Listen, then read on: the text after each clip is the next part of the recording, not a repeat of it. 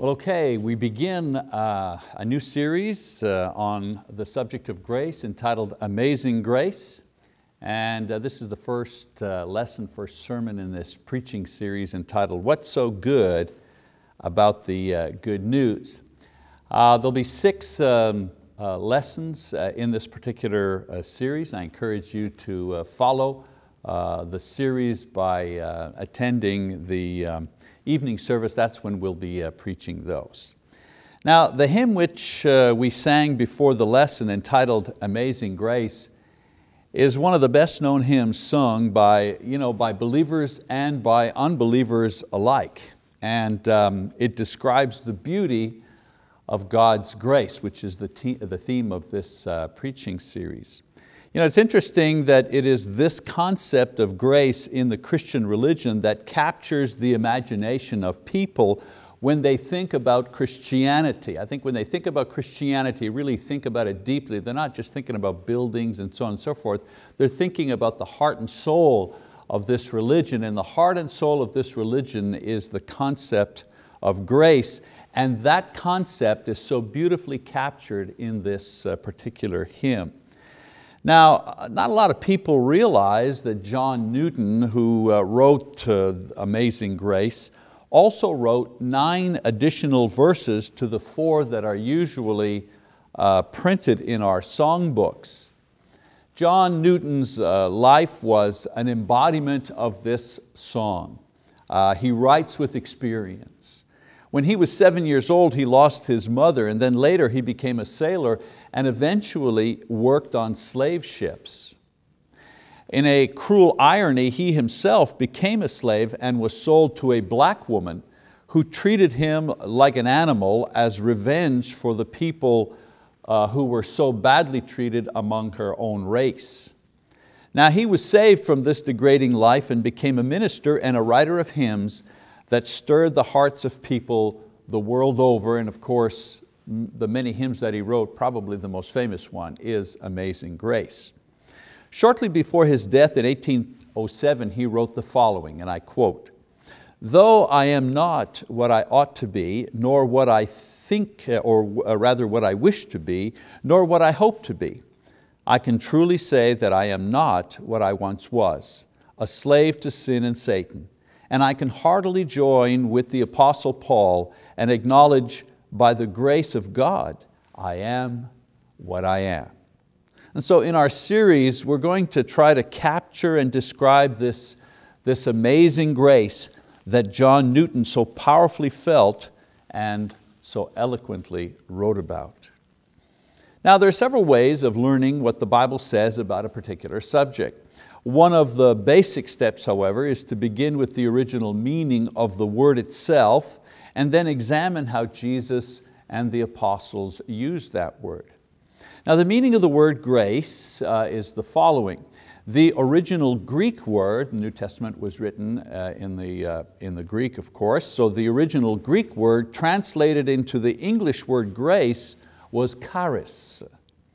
In early Greek literature, the word chara, from which charis is taken, meant beautiful or lovely or attractive, charming that which is delightful. By New Testament times, the word had come to signify joy or rejoicing.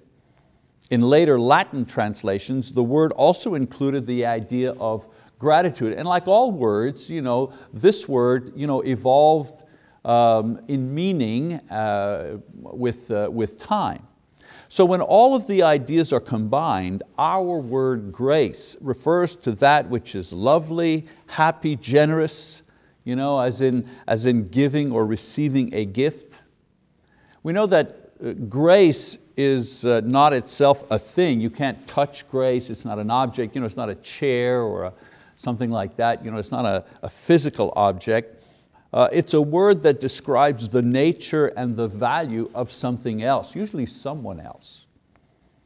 In normal literature, it was used to describe a spirit of generosity and kindness and loveliness. In other words, we would say he is gracious. We understand what that means, you know, uh, someone who's merciful and kind. Or she is, she is graceful, something, uh, someone uh, female, lovely to look at and her movements and her attitude and so on and so forth are graceful. Now in biblical terms, the word was used to describe God's attitudes and God's actions towards mankind. What God has done for man, from the creation of the universe to the saving of his soul, all of this is referred to as grace, God's, uh, God's grace. Now the word is used in a variety of ways uh, in the New Testament, actually 170 times. Um, it's also fascinating to note that Paul the Apostle uses it 101 times. He, you know, he's the champion for the word grace in his writings. Uh, also interesting to note that uh, Jesus never used the word grace because the Bible refers to Him as the epitome of grace. Uh, John in John chapter 1 verse 17 says, for the law was given by Moses, but grace and truth came by Jesus Christ. So because grace is at once a simple yet vast subject, there are a lot of misunderstandings about grace.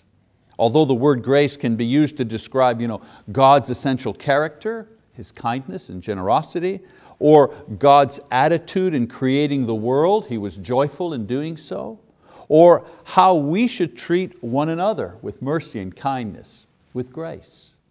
The most repeated and most important idea that this word describes, however, has to do with mankind's salvation from sin. So you understand what I'm saying here. Uh, the word grace is used in a lot of contexts, but the one context that it is used in the most is when, talking about, when the Bible is talking about man's salvation.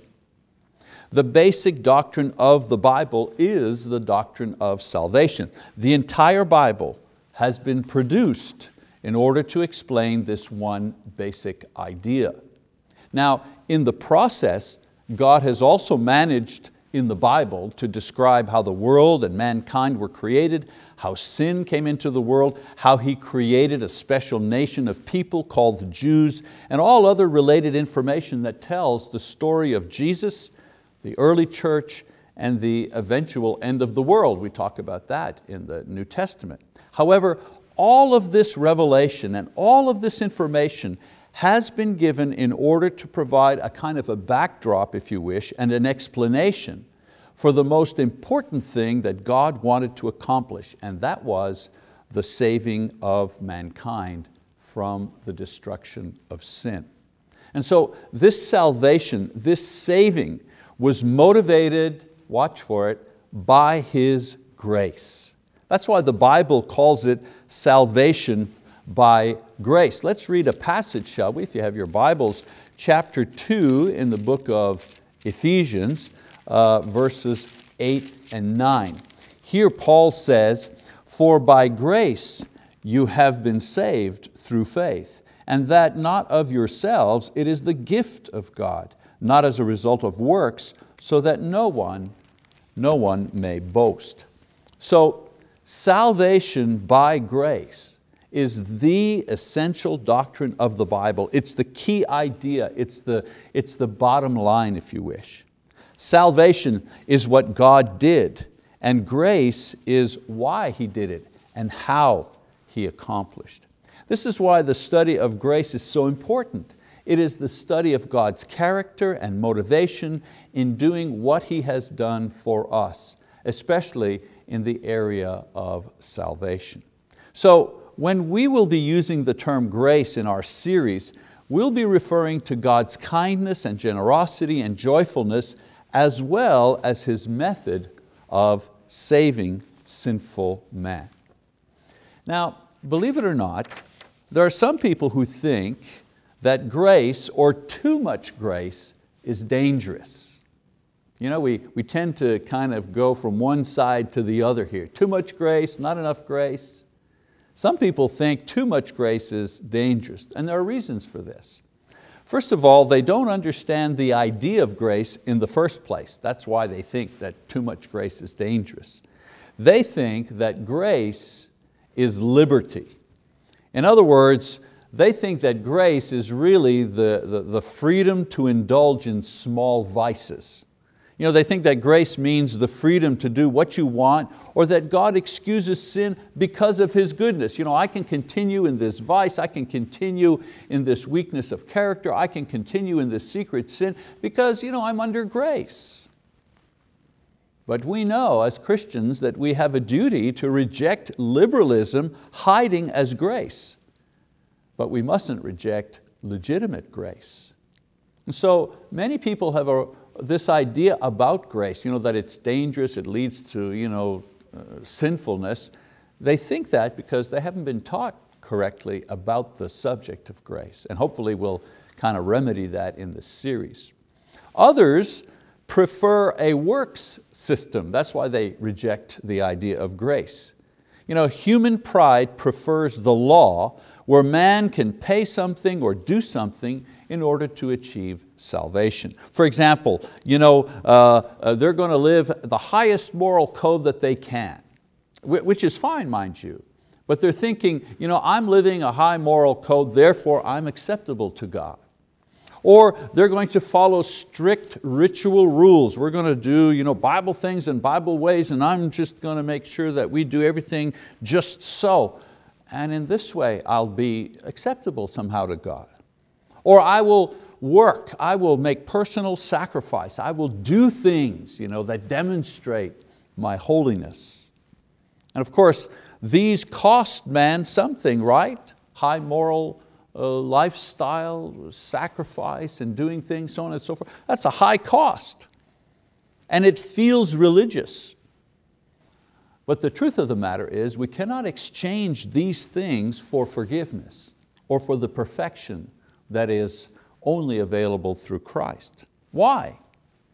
Why? Why can't we exchange these things? Well, very simply, because these things are themselves not perfect. It can never be your moral code can never be high enough and you can't do enough works and you can't follow strictly enough in order to exchange that activity Uh, for salvation or for perfection. And so the grace system requires man to abandon these types of efforts at self-salvation. And that's very difficult because, as I've mentioned, we're proud as people. We want to chip in. We want to you know, we want to do our part in all of this. And then another reason why people are afraid or you know, reject the idea of grace is that they fear living by faith. Let's read another passage, shall we? This time in Philippians chapter 3, beginning in verse 9. Paul says about himself that he wants to be found in Him, meaning in Christ, not having a righteousness of my own derived from the law. There's the high moral standard. There's the you know, righteousness derived from the law. There's the I do all the rituals correctly Uh, and so on and so forth. So he says, I, I, I want to be found in Christ, not having a righteousness of my own derived from the law, not something which I accomplished through strict law keeping, but that and what does he talk about? But that, that meaning that righteousness, that acceptability before God. He says, but that which is through faith in Christ, the righteousness which comes from God on the basis of faith, that I may know Him and the power of His resurrection and the fellowship of His sufferings, being conformed to His death, in order that I may attain to the resurrection from the dead. So among other things, Paul is saying grace requires that we totally depend on God for righteousness. He'll give us the righteousness. We can't accomplish it. And Paul says, you know what? That's the righteousness that I want. And this offer many times sounds just too good to be true to people who are afraid of grace. Wow, I'm going to be, I'm going to be okay with God because I depend on Him and not because I, quote, do things. And so people are a little, mm, a little suspicious of that and they kind of try to hedge their bets with another method. Yeah, yeah, this grace thing is good, but I'm going to, you know, I'm going to chip in, so to speak. You know, when it comes to the gospel, when it comes to salvation, we have to accept the fact that it's grace or nothing. There's no other system. I want us to read another passage, this time in Galatians uh, chapter 1, verse 6 to 8. Paul again saying, I'm amazed, and he's talking to the Galatians here, this particular group of Christians. He says, I am amazed that you are so quickly deserting him who called you by the grace of Christ for a different gospel, which is really not another, only there are some who are disturbing you and want to distort the gospel of Christ. But even if we or an angel from heaven should preach to you a gospel contrary to what we have preached to you, he is to be accursed. Now, we need to realize in this passage that the danger in this particular church that Paul is writing to was not that they were going in the direction of too much grace or cheap grace, but rather they were letting go of grace and they were trading it in for a more comfortable and predictable system of law. Where the law said, well, if you do this, you get that. And they felt more comfortable with that idea. And Paul is saying, whoever's preaching this to you, whoever's teaching this to you, even if it's an angel teaching this to you, that person should be accursed. Why?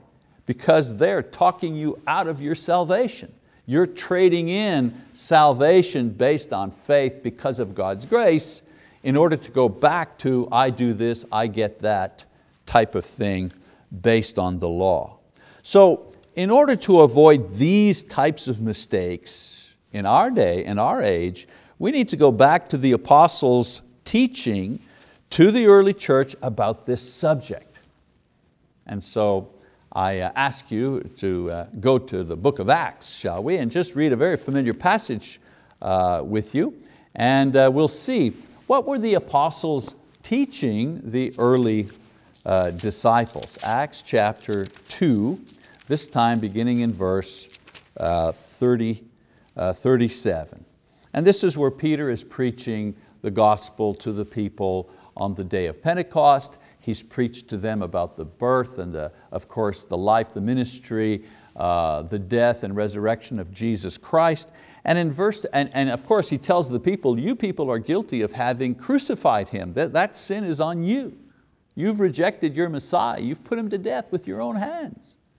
And so we pick up the verse in verse 37 and it says, now when they, the crowd meaning, when they heard this, they were pierced to the heart and said to Peter and the rest of the apostles, Brethren, what shall we do? And Peter said to them, Repent and each of you be baptized in the name of Jesus Christ for the forgiveness of your sins, and you will receive the gift of the Holy Spirit. For the promise is for you and your children and for all who are far off, as many as the Lord our God will call to Himself. And with many other words he solemnly testified and kept on exhorting them, saying, Be saved from this perverse generation. So then, those who had received His word were baptized, and that day there were added about 3,000 souls. They were continually devoting themselves to the apostles' teaching and to fellowship, to the breaking of bread, and to prayer. So I read this familiar passage to ask this question. What exactly, you know, what doctrine exactly was Luke referring to that the apostles taught? we see them teaching the gospel and so on and so forth, and then it says that the new disciples were continually devoting themselves to the apostles' teaching. Well, what were they teaching? Well, what they were teaching was the, who was Christ and what were His teachings. Because the book of Acts and the epistles were not written when this particular event was taking place. So what were the apostles teaching these people in Jerusalem? Well, that Jesus was the Messiah and, and, and, and, and, and how they were to be saved and so on and so forth. That's what they were teaching. And what exactly would they be saying to these people? Well, we read further on that they were teaching them about the person of Christ and His teaching, obviously the plan of salvation, that God sent Jesus, and their response to God's plan of salvation, which in their case they understood and had obeyed, uh, repentance and baptism. The point I'm trying to make is that what the apostles taught was Jesus Christ and God's grace in saving us through Him. John chapter 3 verse 16, right? For God so loved the world that He gave His only begotten Son that whosoever should believe in Him shall not perish but will have eternal life. That's what they were teaching, that kind of the nuts and bolts of the salvation. They didn't have to teach these people about Jewish history. They, they were Jews, many of them.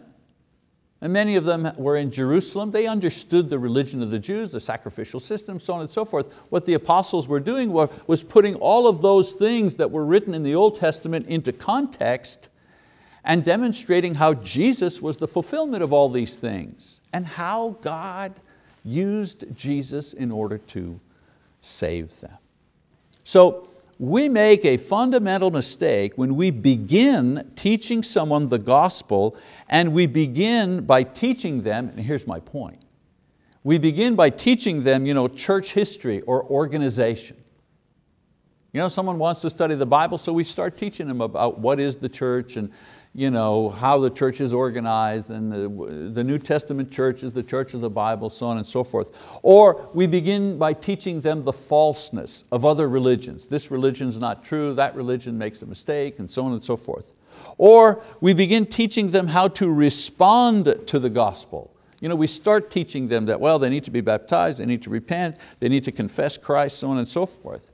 When we do these type of things, rather than teaching them the good news of the gospel, which is the, which is the fact that we are saved by God's grace through faith.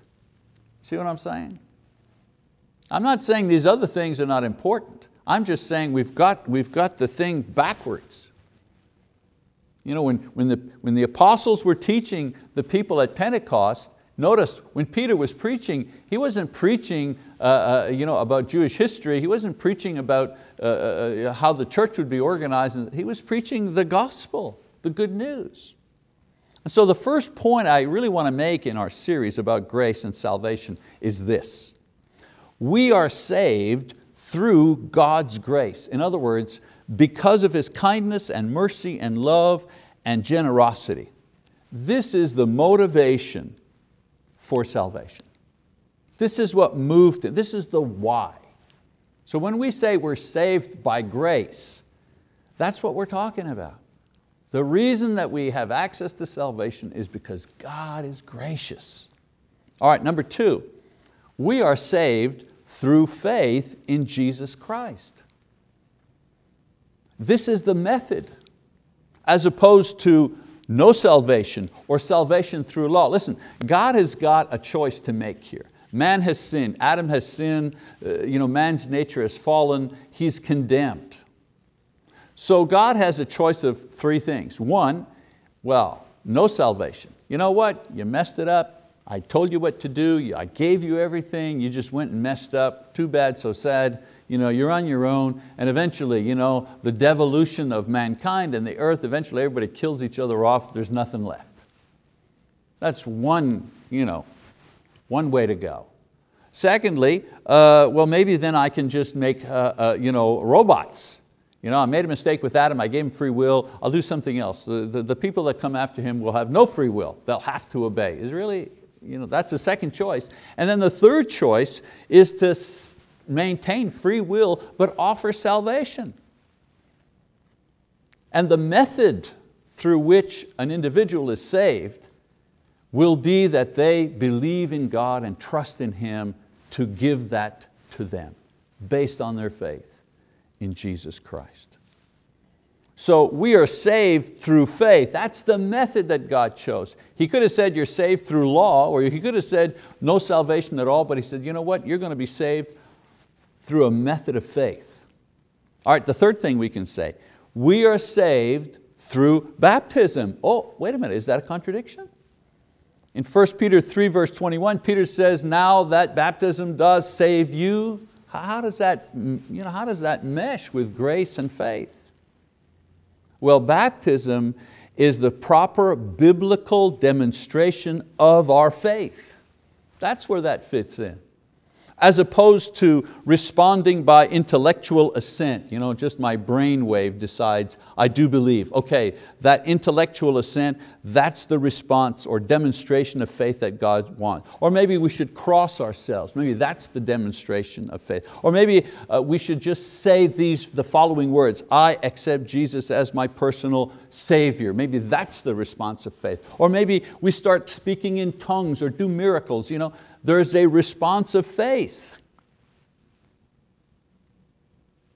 But the Bible says that God gave baptism, immersion in water.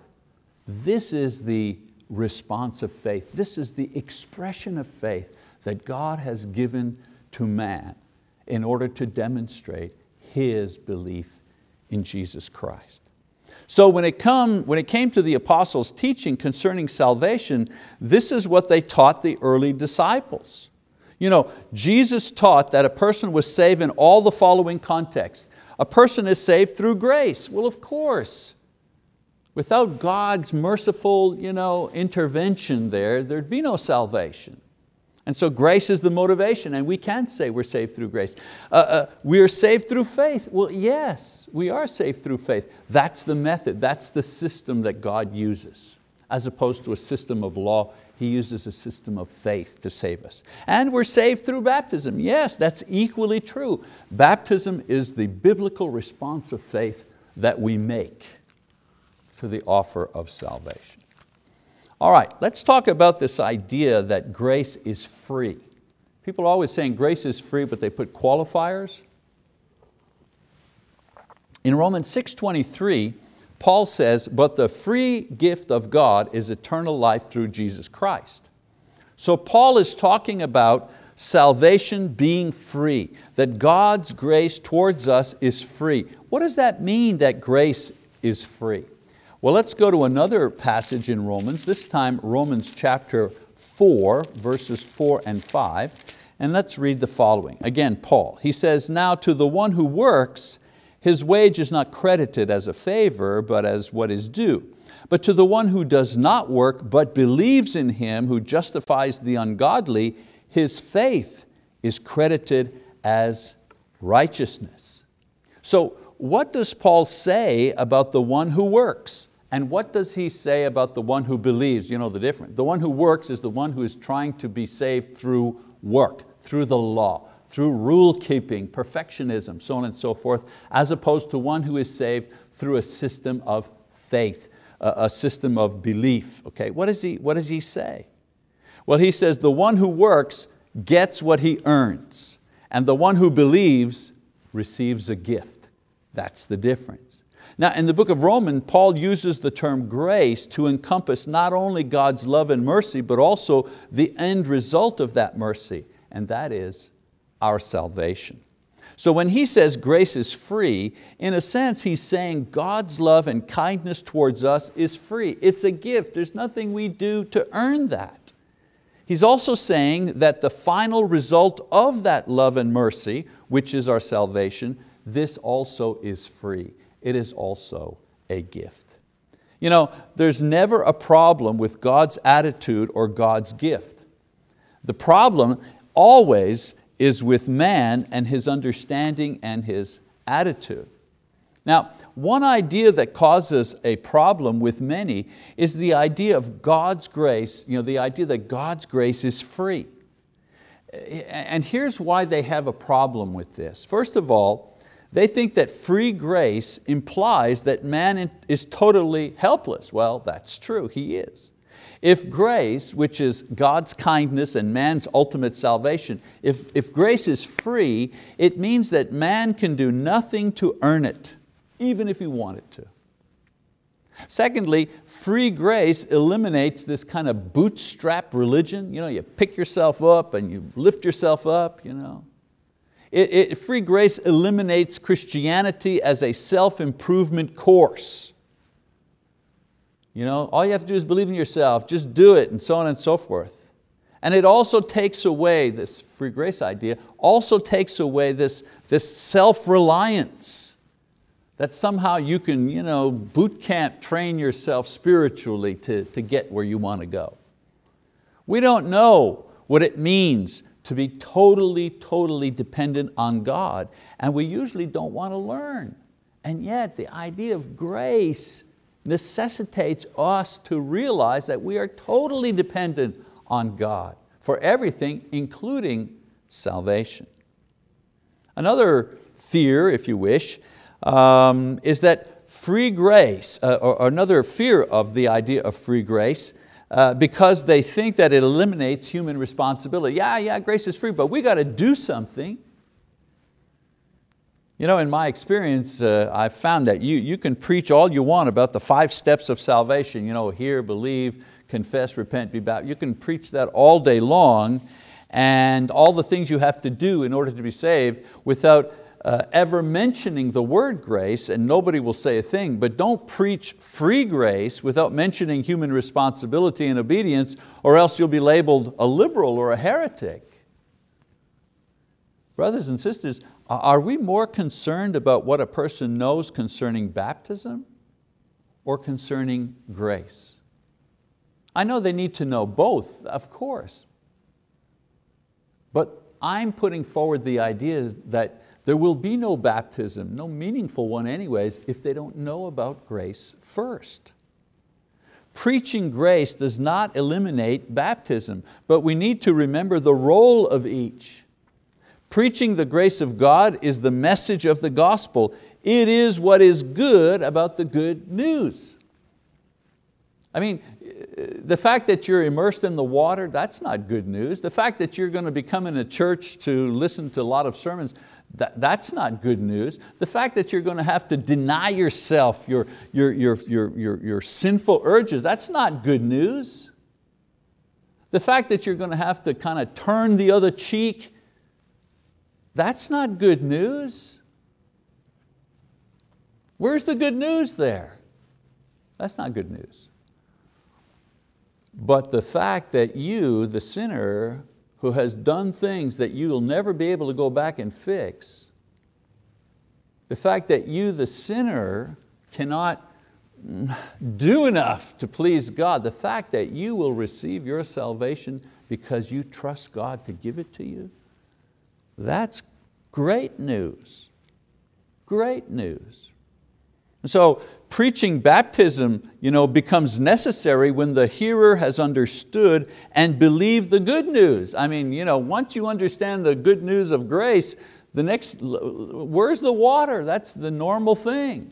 What must I do? Charles Hodge, Christian uh, preacher and writer, says the following, tell men what God did before you tell men what they should do.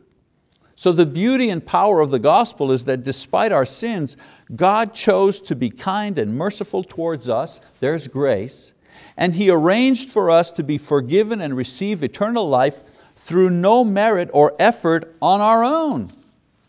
Man, that's, that's great news. Now, again, and I know some of you are thinking this, where does human responsibility fit in? Don't we have a part to play in this? You know, if grace is free, you know, God's kindness and salvation, then where does repentance and baptism and faithful until death, where does that fit in? Because that's also in the Bible, is it not? If grace is free, well then everyone in the world receives it and is saved, aren't they? If it's free. If grace is free, then why do I have this daily struggle as a Christian? Well, it's not that grace demands or requires. This is the way the law speaks. The law demands, the law requires obedience, perfect performance, so on and so forth. That's the language of the law. Grace does not demand, grace produces. That's the difference. Grace gives, grace motivates, grace provokes. That's what grace does. The law demands perfect obedience and it produces death because it shows you that you are imperfect, that you are incapable of being perfect, and that the consequences of being imperfect is death. Romans chapter 3. So you know what I'm saying? That's what the law does. That's exactly why the law was designed. Grace, on the other hand, demands nothing. It requires nothing. It reveals God's awesome love in the cross of Jesus and in doing so, watch for it, it produces faith. It produces repentance. It produces obedience. It produces joy and peace and so on and so forth.